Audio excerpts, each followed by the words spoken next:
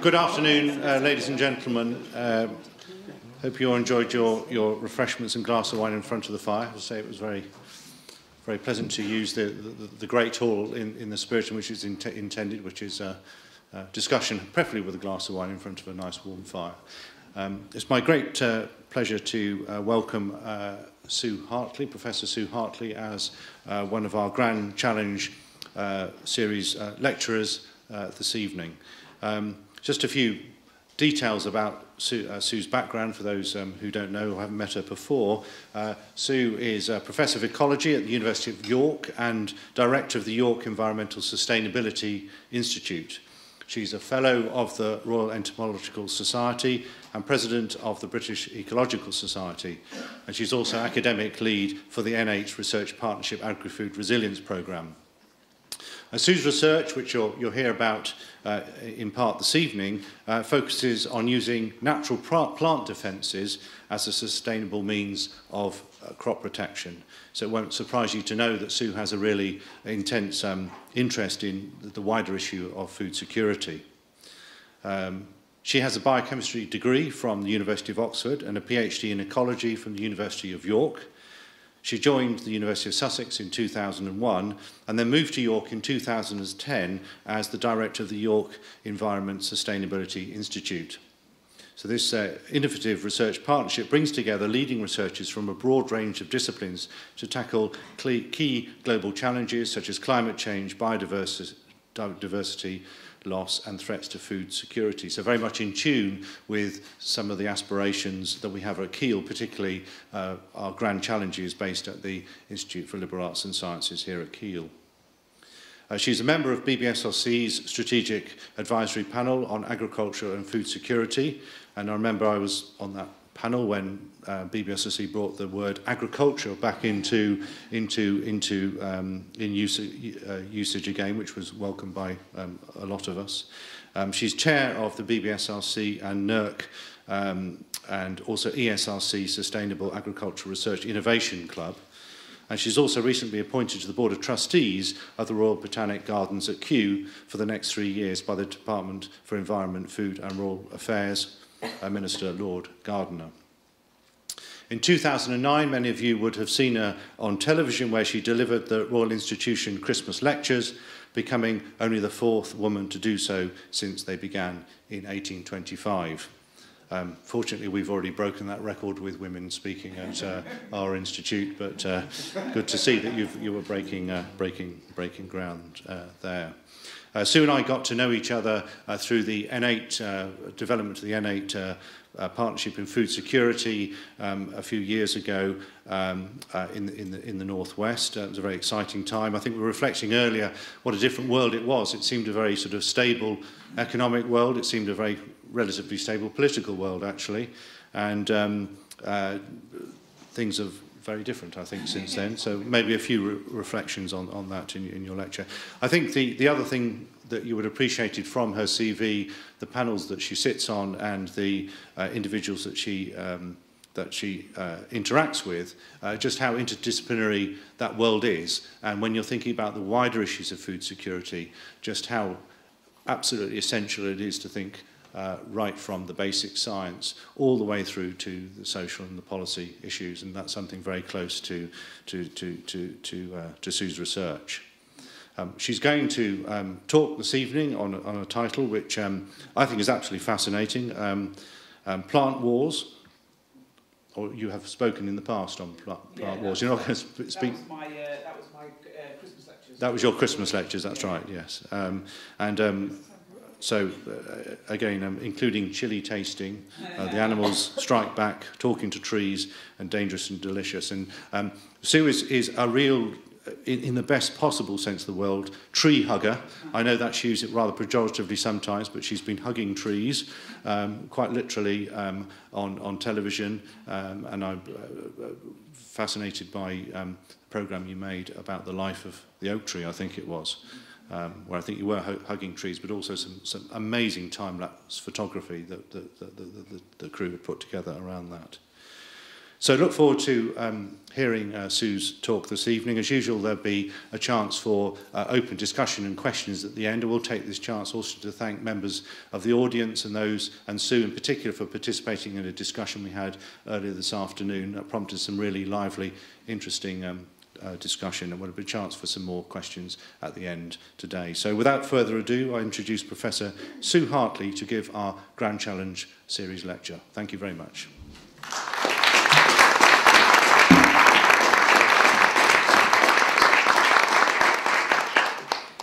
thank you, uh, Jonathan, for that very kind uh, introduction. And it's, uh, it's a pleasure to be here at, at Kiel. It's always uh, interesting and exciting to talk to people about the value of interdisciplinary research. And I'm really pleased to see that that's so high on the agenda here at, at Kiel. And uh, I've also uh, confessed to a, to, a, to a family connection, actually. My, my father was, was here as an undergraduate and uh, we were just trying to work it out before before I stood up, job, but probably in the early 50s, uh, which actually tells you something about how long in the tooth I'm getting. But uh, uh, I imagine uh, I can report back to him that uh, that Kiel is. Uh, is still very much a thriving place and, uh, uh, and if it's anything like York, you have a lot more campus buildings than you had back then. So the title of this lecture series is uh, Grand Challenges, and, and I want to talk about one of the biggest challenges that we, that we face at the moment, and that is producing uh, sufficient, uh, healthy and nutritious food for a growing population, but in a sustainable way without doing more environmental damage, and without increasing our inputs of, of scarce uh, and expensive resources like fertilizer and pesticides. And we've got to do all that uh, against a backdrop of uh, uh, climate change, which is already starting to show uh, impacts on, on, on food production. But it's not all gloom and doom. We do have challenges, but I hope I can show you that we also have solutions. But I'm going to start off with uh, a little bit of a, of a, a, a look at the challenge that we face.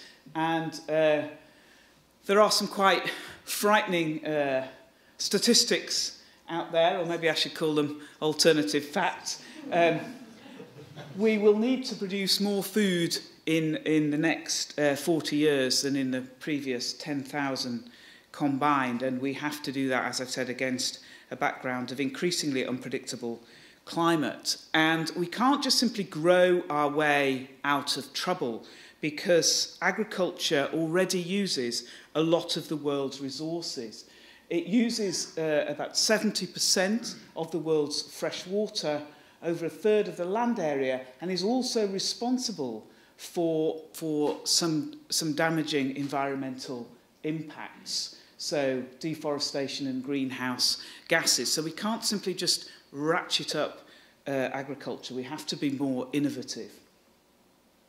And climate change is already starting to impact on, on yields, but it has another uh, issue in that in some of the most vulnerable parts of the world, it, it could actually reduce the area for food production at a time uh, when we need to be increasing yields. So even just by those, that very brief introduction, I hope you can see that um, the challenge here is very much an interdisciplinary and interconnected one. So this is uh, Ban Ki-moon, the, the former uh, UN Secretary General.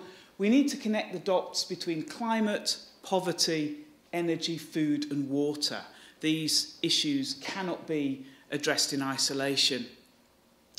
And uh, one of my other roles that, uh, that I've just taken on is to be uh, a, a Co-I on a centre called the uh, Centre for Evaluation of Complexity Across the Nexus, which probably means almost nothing to you. It didn't mean a great deal to me, actually. But the nexus being food, energy, water and environment. And how can, the aim of the centre is to try and understand how we can develop policies that kind of uh, enable us to navigate through this complex intersection of environmental issues.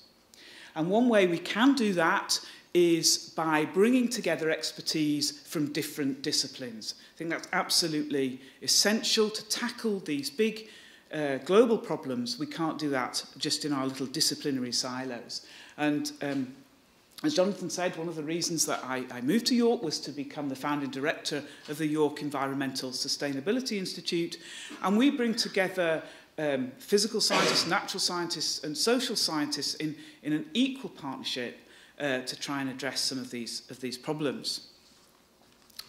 So uh, we focused our, our, our research at YESI in, in three different areas. We're, we're very interested in the environmental consequences of rapid urbanisation, particularly in the global south. And we're also interested in making ecosystems more resilient and the protection of biodiversity. But what I want to focus on today, and in fact what is one of our major research areas, is the sustainable production of food. And you probably think uh, I've already uh, presented a fairly bleak picture for world agriculture. We've got climate change, um, we've got um, uh, rising populations, and yet we've got environmental damage. But actually, agriculture has got even more problems than that. And one of them is that actually we don't eat very much. We're not, well, actually, in my case, quite a lot, in fact, but, but in terms of the diversity of plants that we eat, it's rather uh, limited. And 80% of our, of our food comes from just 12 plants. Uh, so we're in rather a vulnerable position. And in fact, 50% of the world's food production is wheat, maize and rice. And, and so we're really dangerously rel reliant on just a few kinds of plant. And usually only uh, one or two varieties of those plants. So cultivated Asian rice Oryza sativa. That's the primary food source for 50% of the world's population. So half the world is dependent on one variety of one food plant for most of its calories. But we know there are 23 wild species of rice. And we also know that, that our varieties of our cultivated rice that we've bred for and selected for, have, we've really reduced its genetic diversity. So it's estimated that the main variety of Asian rice has 10,000 fewer genes than its wild ancestor. So you can imagine we've really reduced its ability to cope with, with climate change or with pest outbreaks. We've, we've lost a lot of key traits So the first project I'm going to tell you a little bit about uh, this evening is, is one of the first projects we got going at, at YESI, and it's a genuinely interdisciplinary project, as you'll, as you'll see. And it's trying to use... Oops, sorry. Go back and try and find the pointer. I was giving a talk at Oxford once, and I, I didn't press the pointer. I pressed the off projector button. It took about 20 minutes to get it going again. It was nothing as popular then. Try not to do that. So this is using the wild ancestors that I mentioned to try and make cultivated rice, our elite lines, more resilient to increasingly unpredictable water availability. It's supported by the BBSRC, but also the Bill and Melinda Gates Foundation.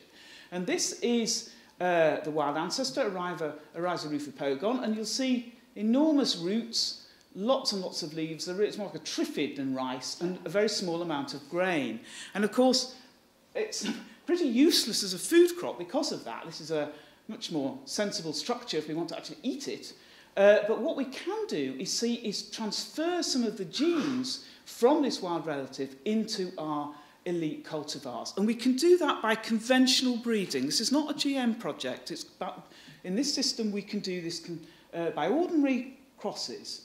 At least we can if we're Susan McCouch, one of the world's best uh, plant geneticists, rice geneticists at the University of Cornell. And she's produced uh, what we call chromosome uh, segment substituted lines.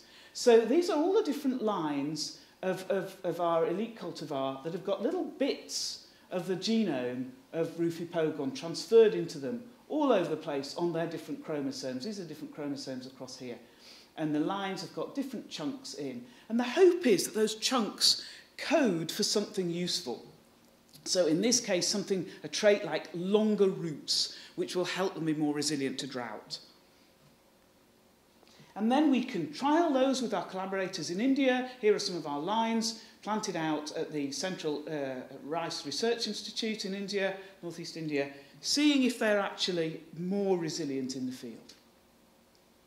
What we've been doing in York is testing responses to drought in the lab, growing our, our rice in a, in a greenhouse and subjecting them to, to stress, osmotic stress, and identifying uh, the traits that are associated with improved resilience. And here, this is, uh, this is line four, and it, this increases its root weight when it's stressed uh, osmotically. So that's a sort of equivalent of drought stress. So that's the kind of plant we're after, one that uh, is able to respond to a reduction in, in, water supply through osmotic stress by increasing its root length. And then what we can do is see how uh, those lines perform in the field. So uh, here are our lines all growing out in the field under different stresses. Here is our kind of wild type. Now, some of the lines you'll notice do worse than if we hadn't bothered. Uh, that's the nature of, of research, and we're just crossing uh, segments in sort of randomly. So, unsurprisingly, some of them don't actually do any good, they make things worse. But some of them do really well.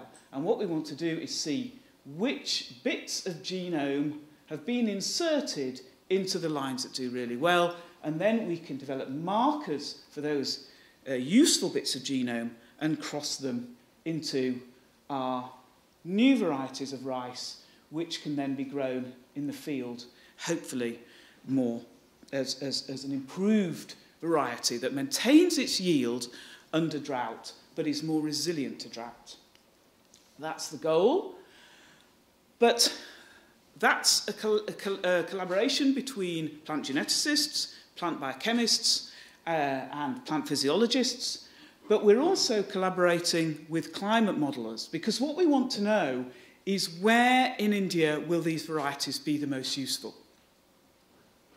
So in India, uh, about 18% uh, of the rice growing area is prone to drought, and about half the rice crop, just less than half the rice crop, is rain fed. In other words, there's no irrigation. Farmers rely totally on rain to keep their crop irrigated. Now, climate change is starting to impact on the monsoon.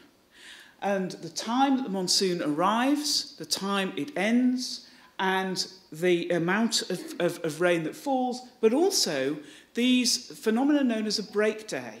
So what happens with uh, rain-fed mon monsoon rice is that at the start of the monsoon, the farmers plant, and the rice needs to receive rain every day. And usually that happens in the monsoon, and then the monsoon finishes and the harvest is, is ready. But what's been happening increasingly is more and more of these break days. So that's when there's a day, some days when there's no rain or very little rain. And we've, uh, with our crop models, we've demonstrated that each additional break day can reduce yield by 9 kilos a hectare. So this is a dangerous situation if you're a subsistence farmer and this is you're trying to feed your family growing crops like this. So that's not too good. Uh, and then just to really cheer everyone up, we tried to predict what would happen in the future uh, in 2050. Using the IPCC's climate models, we looked at the areas currently growing rain-fed rice, and we looked at areas in 2050 what uh, the predictions would be for the likely success of rain-fed rice growing. And in about half the areas currently dependent on this type of agriculture, we predict that the crop would not be able to be grown because of the changes in the rainfall pattern.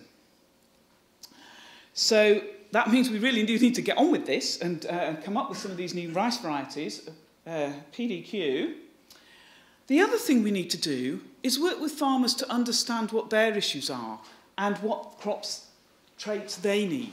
So this programme involves a big social science component with two Indian PhD students, uh, some Indian scientists and some UK social scientists. And we're looking to find out what traits the farmers are interested in. And in our recent uh, field trip, we went to India and we uh, went to some of the villages where, where some of these test uh, varieties have been grown, and we spoke to the farmers. And it was a, a very interesting experience. Uh, mostly we got lots of input from the male members of the community. They were only too pleased to tell us what they wanted. They wanted more pest resistance, more pathogen resistance, nicer grain, etc., etc., a whole list of traits. And in the end, one of the Indian PhD students said to me, you must ask the women what they want. And I was the only woman member of the team, so apparently in, in that, uh, this is in remote parts of, of northeast India, women ask women questions, not, not men. So, so I asked uh, a question. I said to the women, what would you like? What do you want to see? Well, I think that's what I said. I mean, I had to be tra- translated into Hindi and then into their, their native language and then all the way back again. But I think we got the message across. What would you like? And they said to me, well, what we like is a crop that is no more work to harvest because we have to do every damn thing around here and we don't want any more work.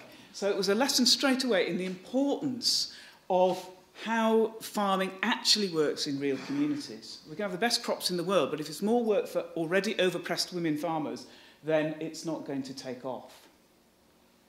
And as I said, we do need to, to crack on with this. These are some rather cheery predictions from the IPCC about uh, the impact of water stress in 2025. These are the areas of the world they predict to suffer from the greatest water stress. You'll see northeast India is right up there. Uh, this is the FAO's uh, cheery prediction on uh, the impact on crop yields with a three degree rise in world temperature. Now, you remember we're trying to, under the new current climate change agreements, we're trying to keep the, the temperature rise down to two degrees. That's taken a little bit of a hit with America threatening to pull out post Trump, but anyway. There we go. Uh, so, three degrees would be pretty catastrophic for uh, Indian crop yields, and you can see there's not much justice in the world. The areas of the world that suffer most from increased uh, climate change impacts are not the areas principally causing the problem.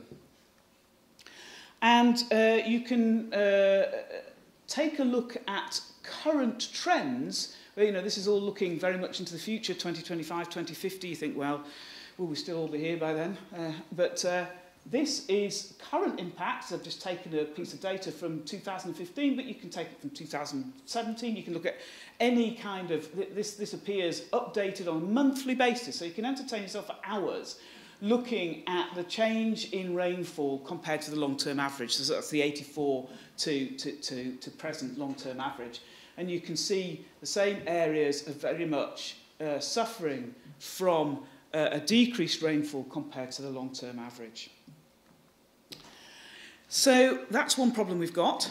This um, unpredictable rainfall, uh, increasing droughts in some areas of the world, but of course in the UK, uh, very much uh, in, uh, drought deluge. If you talk to UK farmers, they say their biggest issue is this huge, huge variation. One minute it's too dry to get your potatoes in, next, next year it's too wet to get your potato picker onto the fields. So this huge variability is another really important problem. But I want to just leave the climatic issues aside for a moment and think about another uh, vulnerability we have in world agriculture, and that is our reliance on pesticides. And uh, current, our current crop protection uh, prevents the loss of around 22 to 40% uh, of food production. And if we take three of our big crops, rice, wheat and potatoes, without any pest control, and remember this is the case for large numbers of farmers in the global south. They do not have access to any kind of pest control. And they will lose three quarters of their rice and potato crops and half their wheat crop. Even with our best efforts, mechanical and uh, chemical control measures, we're still losing uh, you know, 30 to 40% of our, of our crops. But this situation, bad as it is, isn't even sustainable because we're not bringing new pesticides to market. The ones we have are being banned. And uh, I know uh, some people would like to blame EU red tape, but that's, that's not the case. These chemicals are dangerous and damaging, so they have to be removed. But we also have to keep trying to tackle this pest problem. If we can decrease losses to pests, we can feed 25 million more people, so it's not insignificant. But what we've done is reduce are the ability of our crops to fight back. We grow vast monocultures of exactly the same sort of crop uh, over and over again, and we've changed the way our crops look. So, any guesses for what this, these are? You've probably, you've probably eaten them today. Potatoes, I hear from back there, yes, potatoes. Those are what potatoes should look like. Wild potatoes look like that. Sainsbury's potatoes look like that. Now, you may well think this looks a lot more appetising. Well, amazingly, so do pests and pathogens. So these are much more vulnerable to uh, diseases like potato cyst nematode, which is a huge problem. That's the biggest cost for UK potato farmers is controlling for potato cyst nematode, and they currently use compounds that will be banned in the future. So that is an issue. And what we've done is bred out the chemicals that make um, these, these colours are due to, to, to toxic chemicals in the, in, the, in the potatoes, and we've bred those out because we don't like the taste, and we've got that. So we've made up the difference by chemical control methods. But as I said, that isn't the best way forward. But there is a solution. You're probably thinking, thank goodness, are we going to get some good news in this talk? Um, most of our key crops are grasses. We've changed them dramatically. So this is uh, uh, what the maize that we eat now and, and wild maize. So we've been tinkering away, and this is uh, the, the uh, evolution of wheat, which is now something of a triffid with three sets of chromosomes. Uh, but we have, we do actually eat grass, and grass has a secret weapon, uh, and that's silicon. And you might think, well, silicon, what's that? Basically, silicon is a very abundant element in soil. It's, it's uh, quartz, uh, well, silica is quartz, silicon oxide. So it's around in sandy soils in particular. There's a lot of it. And plants contain, oh, sorry, I keep pushing the wrong button. Plants contain up to 10% dry weight silicon. So it's a huge accumulation. So rice accumulates a lot of silicon, more silicon than nitrogen or phosphorus or any of these other elements. So why would they be hyperaccumulators? Well, one idea is that the silicon's taken up in a soluble form and then deposited as silica uh, in, in structures like known as phytoliths or as spines on the leaf surface. So you might think this doesn't look terribly tasty, but what about crop pests? Well, they don't think that's terribly tasty either. So one of the early experiments we did a long time ago now, 10 years ago in fact, um, was to feed some common uh, uh, pests, agricultural pests, this is armyworm and locusts, on plants that were either in uh, low silica in the black bars or, or high silicon white bars, and look at how much they ate. And we did this for six different uh, grass species. And you can see that in every case, the consumption was a lot, uh, was a lot lower. They don't like eating, eating this uh, uh, plant high in silicon. One thing we did find that uh, this is another agricultural pest, the grain aphid. Um, aphids are particularly problematic for crops because they often carry diseases, viruses, for, for example, um, that, that affect plants. Now, aphids didn't seem quite so bothered uh, about silicon and we discovered why, uh, but not until 10 years later. That's another thing about research. It takes ages to find things out, which is a bit of a shame because we need to, we need to find things out quite quickly. Still, the other thing we demonstrated was um, why exactly silicon had such a bad effect. So just to keep you on your toes, this time the high silicon plants are the dark bars. And we looked at the growth rate of armyworms on plants high in silicon and low in silicon. We found that the silicon reduced the growth rate and it reduced the nitrogen uh, that, the, that the insect could absorb from its food. So this seems to be some sort of mechanism. If you're eating a plant high in silicon, you cannot extract as much nutrition from that food. That slows your growth rate, and it means that you're not particularly keen to eat it. So what's going on here? Why does that happen? Well, the good thing about working with insect pests is that nobody minds if you chuck their heads off so uh, people object a bit more if you do that with cuddly creatures, but nobody cares about armyworms. So we could, we could chop their heads off and look at the jaws of, uh, of the mandibles of the insects under the microscope. And this is the, the, the jaws from the, the mandibles from the uh, uh, insect feeding on, on low silicon. And you can see these kind of grooves. These are the kind of teeth, if you like. And the, the, the insects kind of cut their way through the grass, which is very tough, like this. Uh, but when they've been feeding on silicon, even just for a few, uh, uh, a couple of days, you can see they wear their teeth down. So we looked at uh, whether the um, high silica plants had more impact on mandible wear than the low silica plants, and they do. So it seems as if this mechanism is that it, it, wears down the mandibles of the insect. They then can't chew the food as, as well, so they don't, uh, you know, it's like your mum says, chew your food properly. You don't, you don't get as much nutrition out of, of the, the grass. And the reason is that, that um, these, uh, the, the silicon particles are really quite abrasive. So it's a little bit like, you know, when you used to go to the beach as a kid and you got sand in your sandwiches. Utterly grim, isn't it? And it's that kind of thing that, that, that is happening here. So it deters feeding, reduces nitrogen absorption and growth, uh, and probably because it's abrasive. So what we did here was, uh, this is a really good example of interdisciplinary research.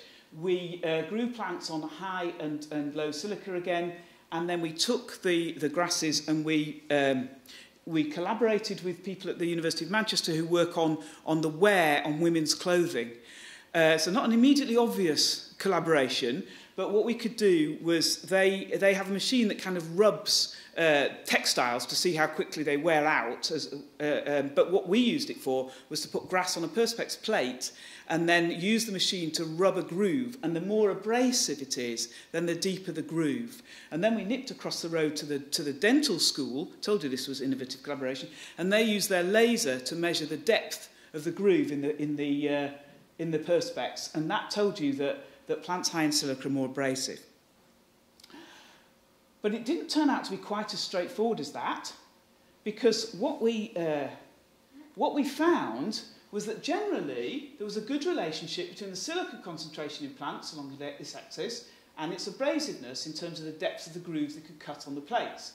But there were some plants that differed uh, a lot in abrasion, but not very much in silica concentration.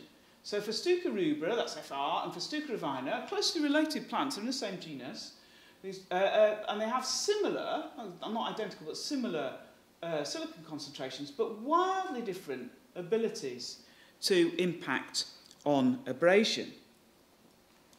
So we wanted to know why that was. The other thing uh, we wanted to know about was uh, another phenomenon that we discovered about silicon, and that is that plants take up more silicon when they're damaged.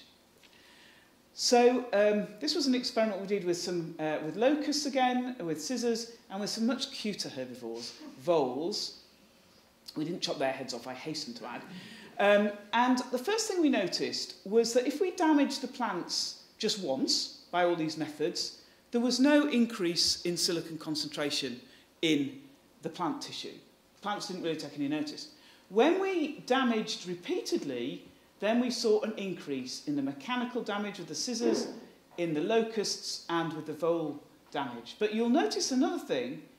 Uh, there was much bigger response when real animals damaged the plant compared to scissors. And we think that this is because, well, we know it's because they, they, the herbivores can detect, uh, the plants can detect signals in, in herbivore saliva. So they know it's a real, a real herbivore. So they, they, they upregulate their defenses, they make, get their defenses ready uh, more when there's, a real, when there's a real herbivore, and more when there's repeated damage. But again, it didn't turn out to be quite as simple as that. And when we looked at uh, different genotypes of plants, we saw something different. So this is a plant called Avenella, and this is a plant called Deschampsia. Now, Deschampsia responds to damage usually with a big increase. So all these genotypes uh, so on your side, it's that side, that's the right-hand side. So on the right-hand side, it's the damaged plants, and you can see there's generally an increase. But sometimes we've got genotypes where there didn't seem to be much of an increase. And Avenella generally didn't respond to damage, but sometimes it did. So there were differences uh, between species and within species in terms of these silicon defences. So we needed to know more about how silicon gets into the plant and how it's deposited and what it does. Um, now, that isn't well known, actually, uh, at least not as well known as it should be. What we do know comes mostly from rice, and that suggests that um, the uh, silicon comes into the roots through uh, an aquaporin type passive transporter that just sucks up water called LSI1. It then crosses the root system uh, and it requires an active proton pump, an energy demanding process, uh, governed by a transporter called LSI2. It somehow then gets uploaded into the xylem. We're not very sure then it, exactly how that happens, and it travels up the plant, and then it's taken out of the xylem by a transporter called LSI6. And then somehow or other, also not really known, but probably involving uh, a recently discovered transporter called LSI-3. I don't quite know what's happened to LSI-4 or 5. They seem to have been forgotten about. But, and then it gets deposited in, in the leaf surface and in these phytoliths. So the process is quite complex, and how plants look in terms of their silicon depends a lot on the, how these transporters work. And you can see some plant surfaces look like that under the microscope, and some look like that. So you can imagine that there could be big differences in the palatability of those plants to herbivores. So we set up a project to, uh, to look at how um, plants actually uh, deposited silicon, and we had three different plant species, the two Festucas I've mentioned before, and Deschampsia, and we just did nothing to the plants, we damaged them, we added silicon, or we did both, and then we looked using an X-ray method where the uh, silicon was deposited and how much there was. Okay, so here are the plant surfaces uh, when there's no silicon and no damage, and this is the Deschampsia and Festuca rubra and Festuca ovina. The yellow colour is silicon deposition. So you can see instantly there are huge differences in how the silicon's deposited. Deschampsia has these really evil looking spines, and um, Festuca rubra just seems to kind of lay the silicon out along the surface with one or two little knobbles, Uh, and Festuca ovina, it looks like it's got measles. It just has silicon in these knobbles, very restricted to the knob to these sort of structures. And then when you when you damage or add silicon, it's pretty similar actually. You see the responses of the plants differ.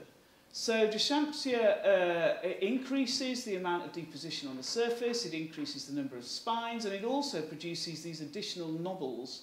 Festuca rubra doesn't really do very much. There's a few more knobbles, but not really. And Festuca ovina, uh, when it's given extra silica, when it's damaged, produces uh, silicon all across the surface, it still keeps its knobbles, and it produces these big long spines that are full of silicon. So plants respond in different ways to these challenges, and they, um, they, they produce very different plant surfaces. So you can imagine if you were an insect trying to tackle this or this, it'd be worse than trying to tackle that. And, and so it really, we really demonstrated that it's not how much silicon you have, but it's what you do with it.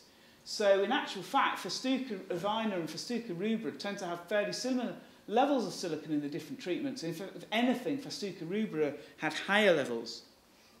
But it, didn't, it wasn't an effective use of silicon. It didn't actually do any good. Uh, and if you look here, this is uh, Festuca ovina with uh, very low silicon content and causing just as much mandible, mandible wear as, much, uh, as plants with much higher levels of silicon. So there's almost 10 times as much silicon in this plant as this plant, but the mandible wear is the same. So in terms of how resistant they are to, to, to pests and insects, it's not how much silicon you, you've got exactly, it's what you do with it. So we sort of came to the conclusion that, uh, that actually quality uh, uh, beat quantity really, and plants have different strategies for how they use the silicon that they take up. And we thought that uh, Festuca ovina was rather more effective than Festuca rubra because it can be more abrasive with less silicon by producing these structures. But of course, what we need to do now is understand much more about this process and also how we can use it I've talked about this really in natural grass species, which is all very nice, but we don't actually eat those. So we've now got a, a project on, oops, sorry, keep doing that, um, on tall fescue. And you might think, well, I don't eat much tall fescue either. Uh, no, you don't, but you, uh, you uh, eat, eat the cattle that do eat tall fescue. It's a forage grass, and it's also a turf grass. And DLF trifolium are, are one of the world's largest grass breeders, and they were very interested in controlling silicon deposition in their plants because they want to have forage grasses that don't have very much silicon, so the cattle don't cut their mouth, you know, mouths to ribbons, but they want turf grasses that have some silicon because they're more resilient to wear when kids are running up and down on it. Well, obviously, don't want too much silicon or they cut their knees to ribbons, which isn't good. So they wanted to know about silicon deposition in their grass varieties. And they have hundreds of grass varieties. And they have a really interesting way of categorizing them. They grow them all up in the field or in the greenhouse, and then they walk along and they, they feel the leaves. And they were classifying their, their grasses as harsh, semi harsh, quite harsh, a little bit harsh, ooh, soft, ooh, very, very soft. Uh, and it's not terribly quantitative, it has to be said. So we thought we could do a little bit better than that. Uh, and so what we got some of these grasses, is a harsh variety and a soft variety, and we looked at them under the, under the microscope and uh, we could see far more spines uh, and longer spines and nastier spines in the harsh variety than the soft variety. So definitely that explains why they feel different. Does it explain, uh, is it explained by silicon? Uh, and indeed it is. Uh, my PhD student produced this graph. Yes, she's got a future as an interior designer somehow. But anyway, um, so very, very soft, very soft, soft, semi-soft, semi-harsh, and harsh. Uh, and you can see this is the amount of silicon uptake uh, corrected for the amount of, uh, of, of root biomass. And you can see that, uh, the plants are different sizes, you can see there's a very good relationship between how efficient they are at taking up silicon and, and how harsh they feel. So what, uh, what uh, underpins that, of course, these are, this is a grass breeding company. They want to know if they can manipulate the genetic uh, makeup of their, of their Uh, uh, grass lines, if they can find markers for these characteristics.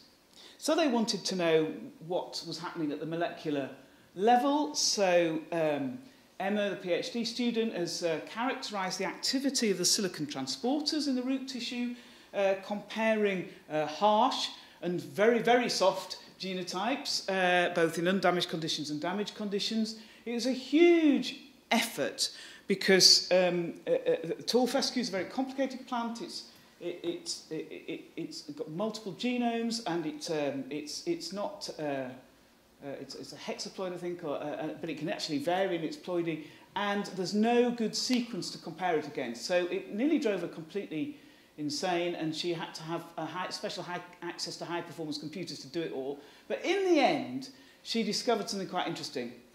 And if you look at undamaged plants, the LSI2 transporter is expressed, well, the genes for the LSI2 transporter is expressed more in the harsh variety. So in other words, the reason it feels harsh is that the transporter that, that pumps the, the silicon across the root tissue uh, is more active in the harsh plants. And when you damage them, both the root uh, LSI2 transporter and the transporter that, uh, that, uh, that takes uh, the material out of the xylem is upregulated in the harsh variety. Uh, not in the soft variety. The soft variety increases the expression of the transporter associated with uh, passive intake of silicon, that's the LSI1, but it doesn't seem to do much with it once it's taken more in. So it looks as if it, there is some, uh, this is very preliminary data, we need to, we need to do this, this more, but there's, um, there's certainly at least an indication that it's differences in these transporters that are driving what's happening uh, in terms of silicon deposition. So let's get back to crops that people actually eat. Uh, and this is uh, silicon uptake in two rice varieties, and they see similar differences. So Nipponbare uh, takes up more silicon than this other variety, Kasalath.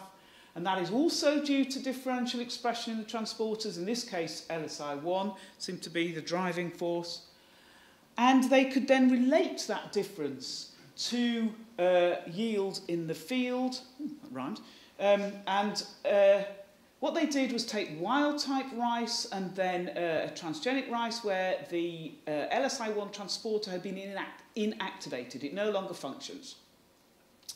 And they looked at shoot silicon uh, uh, concentrations and you can see when there's no transporter, unsurprisingly, there's no silicon and that means there's no yield because you get much, much more damage.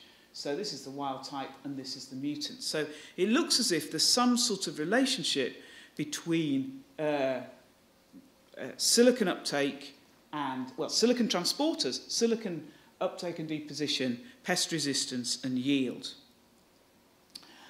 But is that true in all our crops? Remember we were talking about uh, domestication and the way that we'd uh, changed our crops. And a study recently looked at 203 different crop varieties and found that the most common trait change during domestication is the loss of these compounds, these toxic compounds that cause colour, flavour and toxicity. No wonder we always claim our food doesn't taste of anything anymore. We've kind of bred it out.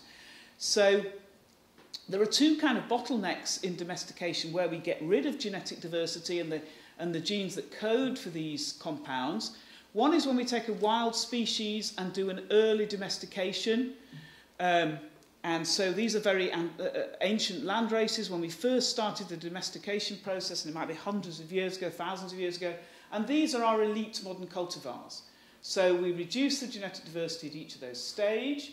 So what we were interested in seeing is if we looked at uh, barley, could we see any difference in the early domestications of barley compared to the modern varieties in terms of silicon defences?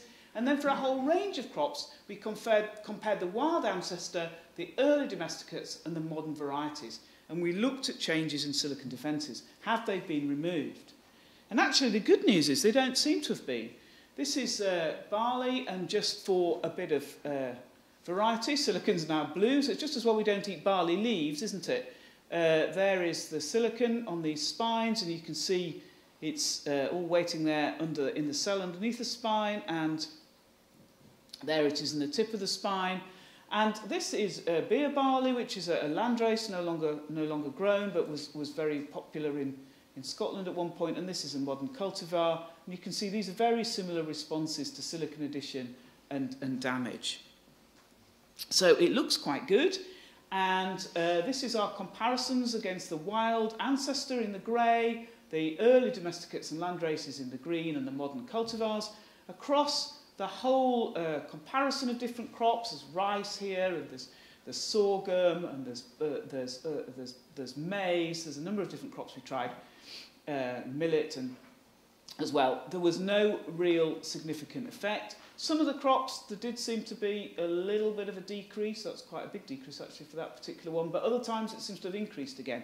So there's no consistent pattern. It doesn't look like we've managed to breed out silicon uptake. And of course, the reason for that is that silicon is an important uh, defense in crops and it's uh, important in a number of ways. But another thing it's important for is, is structure.